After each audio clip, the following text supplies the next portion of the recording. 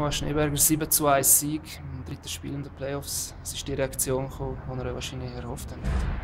Das ist genau so. Es ist, haben wir einen Schritt vorwärts gemacht und äh, wir wollen die Richtung weitergehen. Am Donnerstag ist wieder der nächste Match und äh, ja, wir werden noch mehr, noch besser, noch mehr angreifen. Und ich denke, gleich muss man sagen, der Anfang ist ja gleich in die Hose gegangen. Ja, wir gehen wieder äh, mit 1 noch in Rückstand. Das ist sicher nicht das Gewünschte, was wir äh, haben haben Aber äh, wir haben kurz darauf reagieren und äh, ja, das ist gut rausgekommen. Wir hatten auch im Strittler recht viele Abspielfehler, gehabt, Giveaways und alles. Ist doch Nervosität noch ein bisschen da gewesen? Das will ich nicht sagen, Nervosität. Ja. Bern hat sicher einen guten Job gemacht und äh, das, das Leben auch nicht einfach gemacht, aber äh, eben, schlussendlich äh, zählt der Sieg und äh, haben wir jetzt können daheim behalten und äh, jetzt geht es eben darum, stimmt. Gerade die Verteidiger stehen ja dann im Fokus, wenn sie mit dem Vorchecking können. Weil du bist ja bei dir auch gewesen.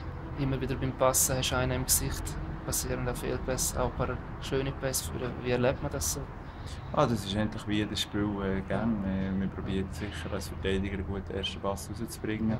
Manchmal gelingt es besser, manchmal weniger. Und dann probiert man es halt auf die weniger schöne Art rauszubringen. Ja. 7-1 klingt recht krass, aber spielt in den Playoffs eigentlich keine Rolle. Wie bleiben wir am Boden? Trotz das hast du ganz recht. Also ich denke, der, der Match ist jetzt schon wieder abgehökelt. Ähm, jetzt gehen wir gut essen und dann äh, gut schlafen, morgen trainieren und dann Donnerstag jetzt weiter, gesagt.